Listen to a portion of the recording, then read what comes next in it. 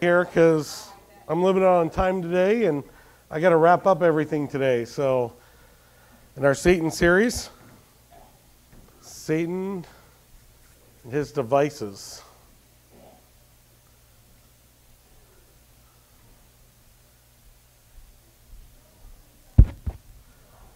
All right, so let's open with a word of prayer and then we'll jump into our study today. Father, thank you again for the opportunity we have to study your word. I thank you that we can be approved workmen that need not to be ashamed, but rightly dividing the word of truth. And Father, as we look at this topic of our adversary, the devil, and we look at his devices and we look at what the Bible says about Lucifer and Satan and the deceiver and all the names that he goes by, I pray, Father, that we would be wise to understand what he's like, but yet dependent on you to be able to overcome him and overcome the evil that's in the world today with the good that you are. And uh, you're a good father. You're, you're the source of good. You're the source of love. You're the source of hope. You're the source of peace. And Father, I pray that as we go through this, this time period of the church age, I pray, Father, that we would represent you in a, in a knowledgeable and also in an accurate way, according to what your word says. So help us to learn from your word this morning. In your name we pray. Amen. All right, I've got to finish the series today, so I'm going to kind of move pretty quick. Next week, we'll be doing a new Bible study. Uh, the ladies are going to meet together and guys are going to meet together, and uh, it'd be a little different format, video based and teacher based at the same time.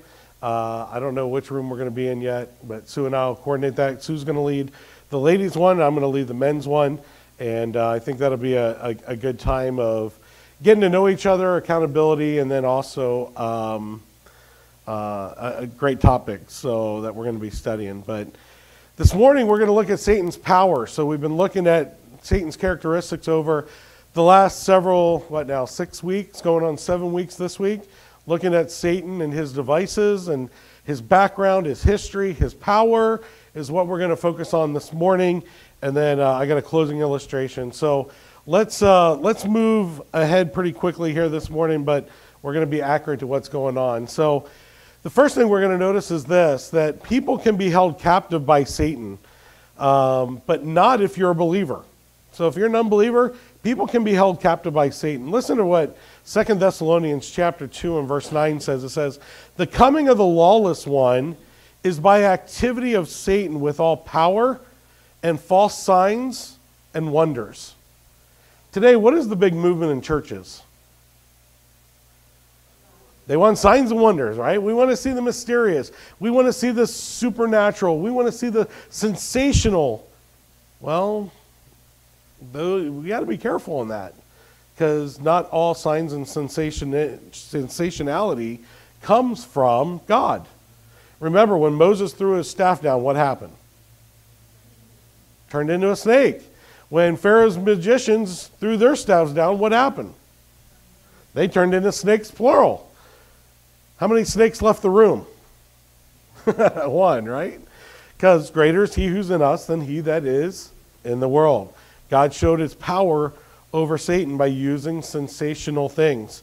Uh, there's a lot of illustrations where we could go through the Bible and see this, but I want to keep moving this morning. Death is his realm. Satan's realm is death. When you look at the death angel in the Old Testament, who is the death angel? It's Satan. So when the death angel came to Egypt and looked for the blood on the door, who was it? It's Satan. And why could he not touch the doors that had the blood on it? He's, he's limited in his power. God can limit Satan's ability.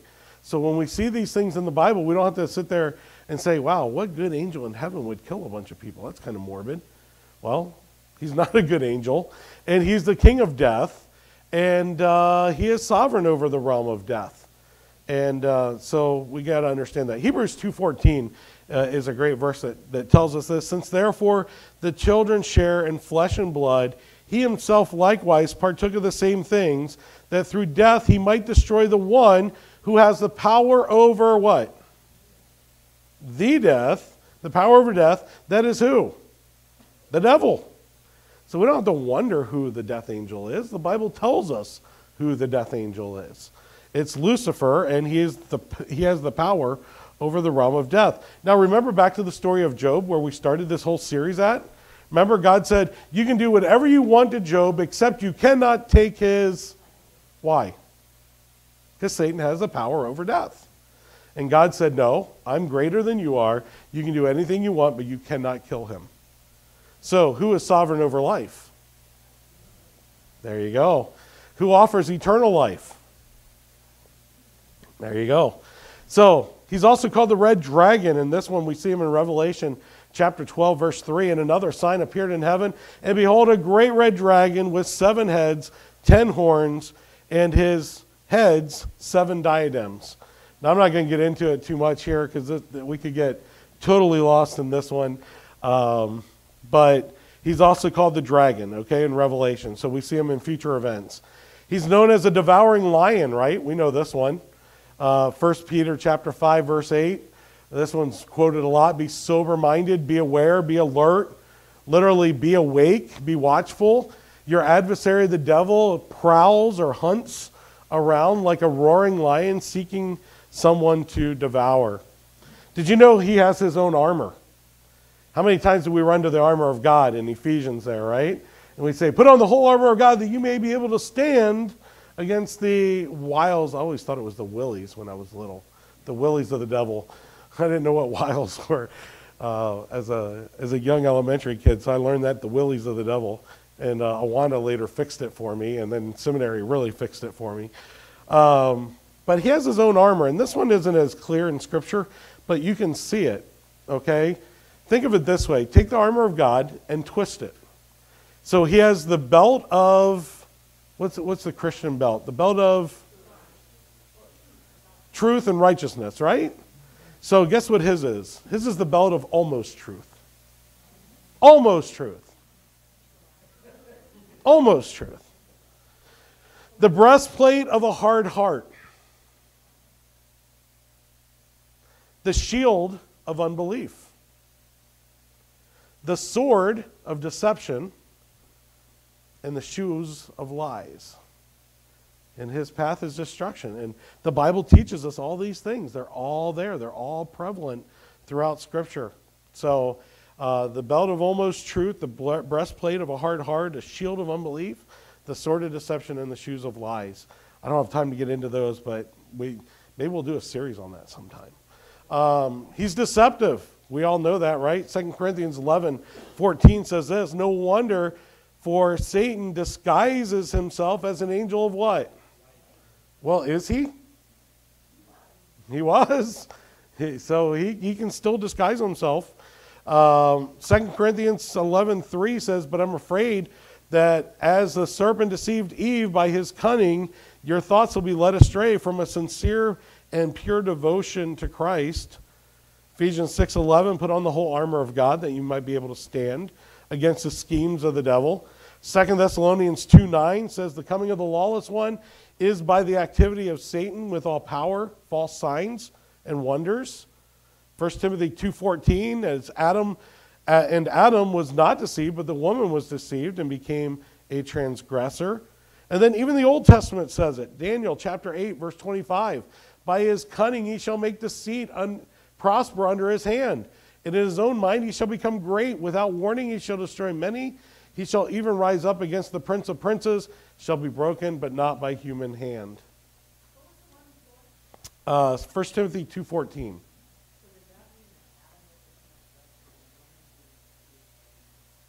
For by one man entered the world.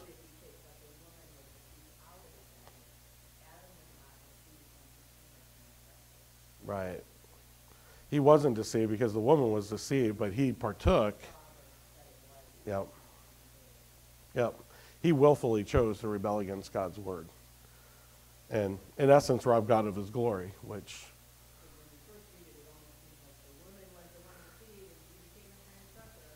Well, we won't go there. I'll let you.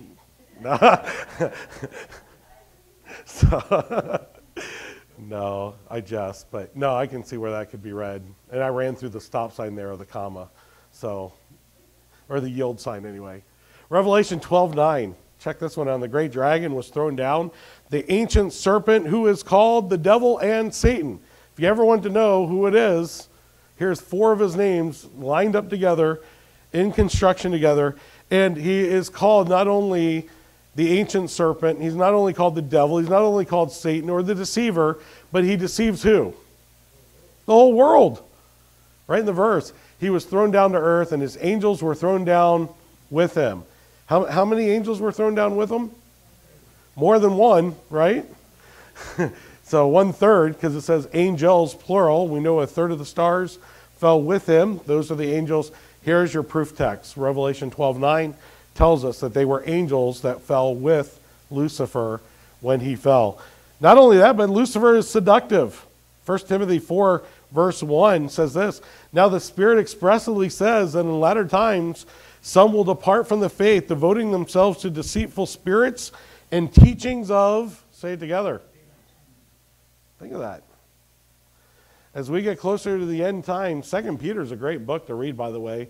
If you ever want to study false prophets, false teachers, what it's going to be like in the end times right before the Lord returns, um, it expressly tells us that there will be those who had a knowledge, and we're seeing that in our time, aren't we? We're seeing pastors actually change and say, Well, I was saved, but now I don't believe I'm saved.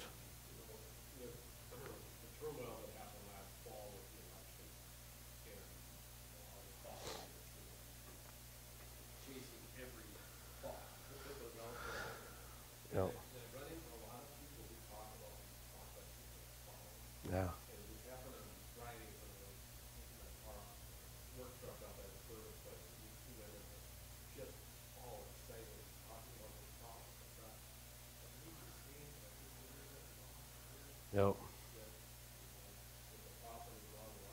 He's a false prophet. Stone him.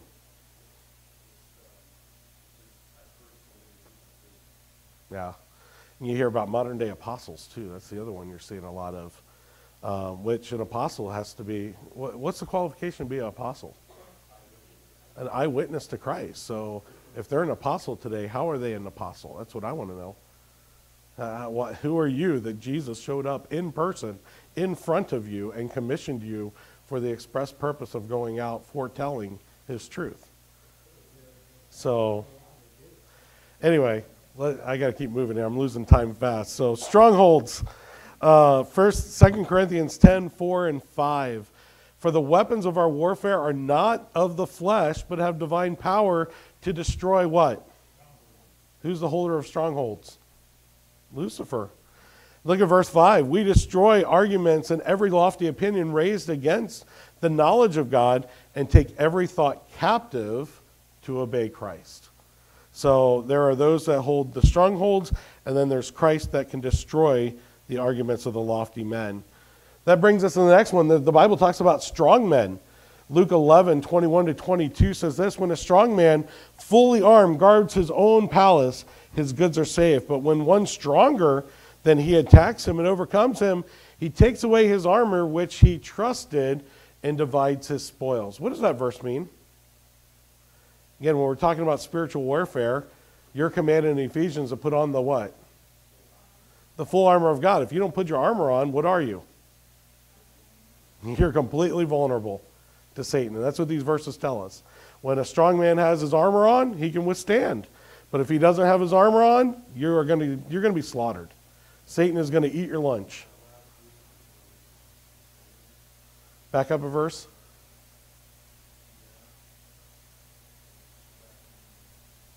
Oh, you want to go back to uh, back to Second Corinthians? Yep.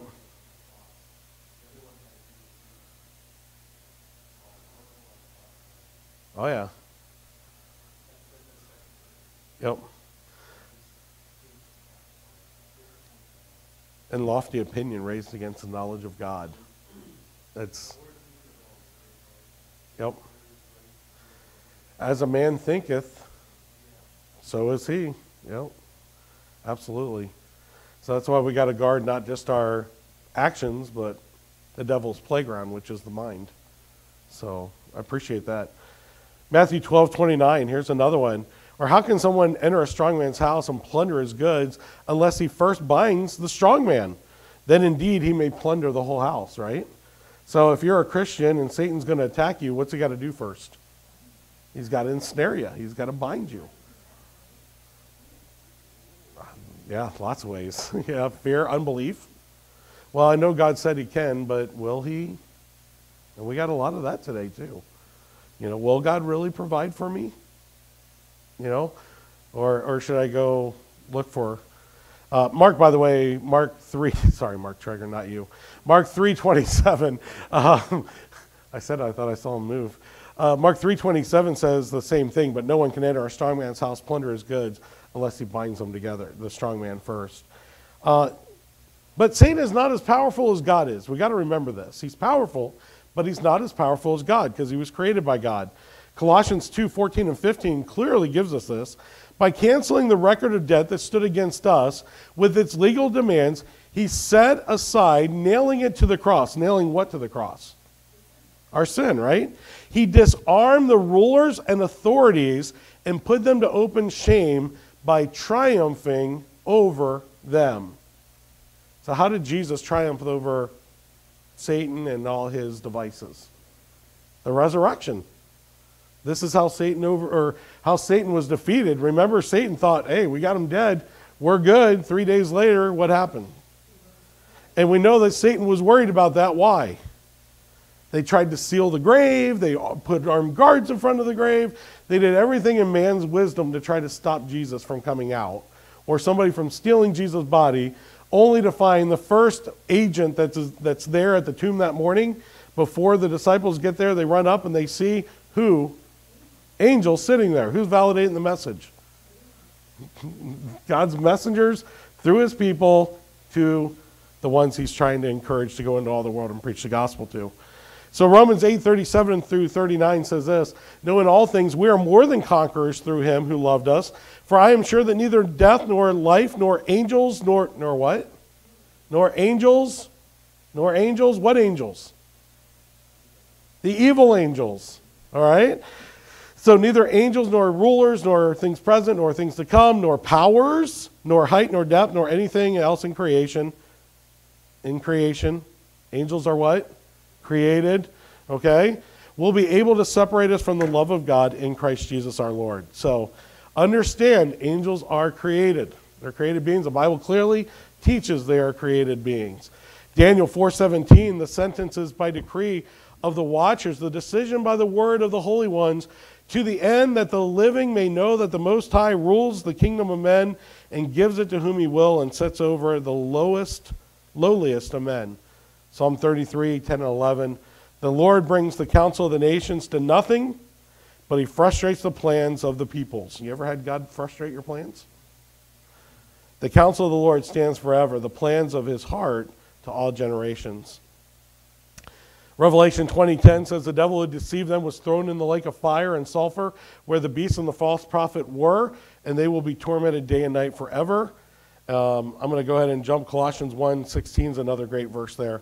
So remember we asked this a long time ago. What or who is the opposite of God? And the answer is no one. Lucifer is not the opposite of God. He's created, he's limited, He's limited in power, he's limited in scope, he's limited in kingdom. Michael is the best one that you can compare to opposite of Satan.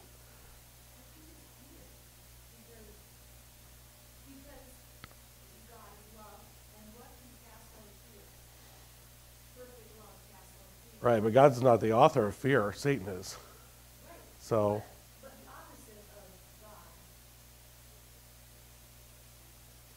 It would have to be total fear because God is total love. He's all love.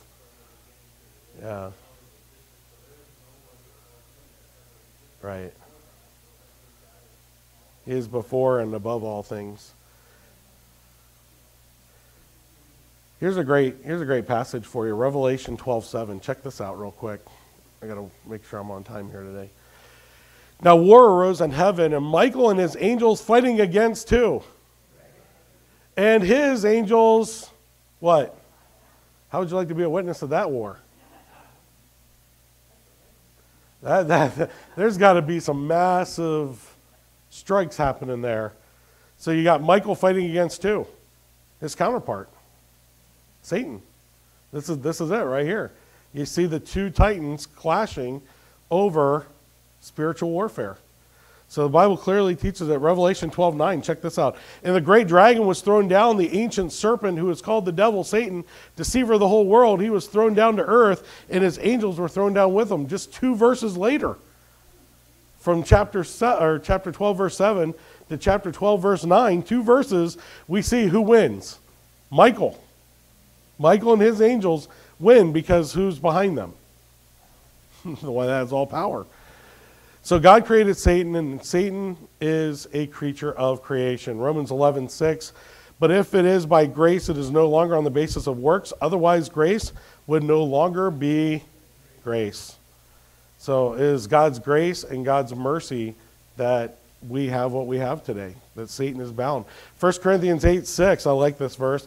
Yet for us there is one God, the Father, whom are all things, and for whom we exist, one Lord Christ Jesus, through whom all things and through whom we exist. So, what does that verse say? Jesus Christ is creator. and anything that's here today is here because the creator said it should be here. Does that include Lucifer? It does. That's right. Colossians 1 16 and 17. For by him all things were created in heaven and on earth, visible and invisible, whether thrones or dominions, rulers or authorities, all things were created by him and for him. Do you know what that verse means? You have Joe Biden as your president because God wants it. That's the application. We might not like the application, but that is the application. The senators and, and representatives we have today, we have them because God wants us to have them. Um, by the way, Satan is no match for God, so just understand that. It, it, Satan's no match for God. God will lose Satan, though. God has him on a leash. You ever think about that? At the end of the millennial reign, what's going to happen? God looses Satan. And if God looses Satan, that means who controls the dog? God does. He's got him on a leash. He can't go any further than God allows. And then following that, he'll be cast out into everlasting darkness. Revelation 20:10 and the devil who deceived them was thrown in the lake of fire and sulfur where the beast and the pro- false prophet are and they will be forever tormented day and night forever and ever. Matthew 25:46 these things will go away into eternal punishment but the righteous into eternal life. 2 Peter 2:4 For if God did not spare the angels when they sinned but cast them into hell and committed them to chains of gloomy darkness to be kept until when? The judgment. Revelation 14:11 and the smoke of their torment goes up forever and ever and they have no rest day or night. Those worshippers of the beast and the image to whom whoever receives the mark of its name. And do not fear those who can kill the body but fear those who can kill or but cannot kill the soul. Rather fear him who can destroy both body and soul in hell. Let me jump to satan's purpose here I want to just show you these really quick because these are, these are impressive, okay? Satan's purpose. These are the verbs associated with Satan, okay? He's a beguiler. Nine verses of the Bible tells us that. He's a seducer. 60 verses tell us that. He opposes. 23 verses of the Bible calls him the opposer or shows him opposing believers. He's a deceiver.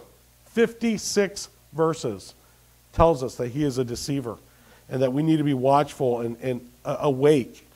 He's a resistor. 38 verses, 38 verses of the Bible tell us that he resists. He sows tares, he buffets, he blasphemes, he hinders, he persecutes, persecutes. He is the father of lies. Revelation 12:9 and the great dragon was thrown down the ancient serpent, the devil Satan, the deceiver of the whole world. He has the power of satanic deception. He can blind people and they don't even see his power. They don't even see who he is. No wonder, for even Satan disguises himself as an angel of light. He deceived Adam and Eve, and Satan is the great counterfeiter. Um, I'm going to jump down here to a final illustration. Um, Satan is also a great destroyer, and um, he's called the Apollyon. Uh, Revelation 9:11, they have a king over them. The angel of the bottomless pit, his name is in the Hebrew is Abaddon, in the Greek he's called Apollyon. Uh, he hinders through adversity. Uh, he does direct attacks, fiery darts, the Bible calls them. What are some of his darts? Think of it this way malice, hate, greed, sensuality, jealousy, shame, discouragement. A lot of different ways. But what is Satan's destiny? Satan's destiny. He's, he's conquered enemy. The rule of the world is going to be cast out. John 12 tells us, John 16 tells us concerning sin that uh, because they don't believe, they're going to be cast out and be with the Father no longer. Um, whoever makes a practice of sinning is of the devil. 1 John 3 8 tells us that. Um,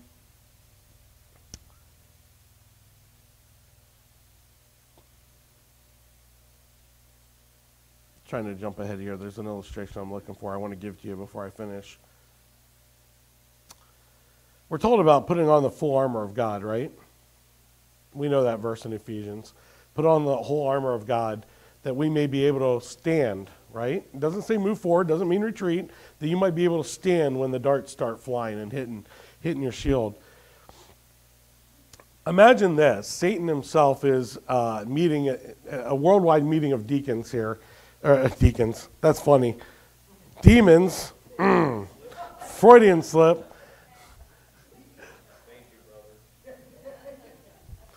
He's addressing a worldwide meeting of his demons, okay? And he's giving them 12 guidelines to overcome Christians. So Satan's meeting with them. He says, and I believe he'd say something to this effect. Number one, keep them busy with non essentials so they don't have time to do the things that God matter that matters to God. Keep them busy with non-essentials so they don't have time to do what God expects of them. Number 2, teach them to overspend and stay in debt. That way they can't do what God wants them to do. Make them work long hours to maintain empty lifestyles so they don't have time for the things of God. Discourage them from spending time with family for when homes disintegrate, there's no refuge from work. Overstimulate their minds with television, phone, streaming, social media, so they can't hear God speaking to them, for they have no idle time. Fill their coffee stands with newspapers and magazines, so they have no time to read their Bible. Flood their mail and email boxes with get rich quick and lottery tickets. And keep them chasing material things so they can't think on eternal things. Put glamorous people on TV and magazines so that they'll be focused on outward appearance and become dissatisfied with themselves and dissatisfied with their mates. Make sure couples are too busy for physical intimacy so they have to look elsewhere. Emphasize Santa, Easter Bunny, so you can divert them from the real purposes of the holidays. Focus kids on doing things and sports so they don't have time for the real eternal stuff that really matters. And make them self sufficient, keeping them busy, working in their own strength that they do not know that they don't have God's strength, and they're working in their own power. Keep them busy. You know the difference between being busy and doing what God wants you to be? Busy spelled how? B U S Y, right? Being under Satan's yoke. When we're busy, when we're too busy for God, we're working for the wrong person. Working for the wrong person. Satan doesn't win big battles, it's the little concessions we give to him time over time, time over time, time over time. Before we realize it, we're not doing the things that God says will give us victory in this world. We've been defeated by the enemy. That's Satan. That's what he is. That's who he is. That's what he does. So let's be alert, be vigilant, because our adversary is working against us, and we need to start working against him and doing the things that God's called us to do. Because greater is he that's in us then. Let's pray. Father, thank you for the study. Thank you that we've uh, been able to look at these things. And I pray, Lord, that we'll be smarter Christians, being alert, being cognizant of what's going on around us, so that we can be able to stand when the darts start flying and we can advance forward with your angels, your power, your Holy Spirit of God that we may be able to move forward for the cause of Christ, even in a world that is stacked heavily against us with demons and, and Satan's work. But Father, you gave us the power. You give us the power. You work through your word, through your church, through your people to advance the gospel into the darkness of the world and help us to be the light that you've called us to be to your glory. In your name we pray. Amen.